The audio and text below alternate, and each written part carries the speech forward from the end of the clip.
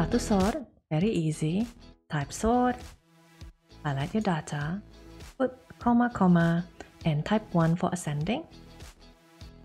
How about sort descending? Very easy. Type sort, highlight your data, comma comma, type minus 1. Voila, all done.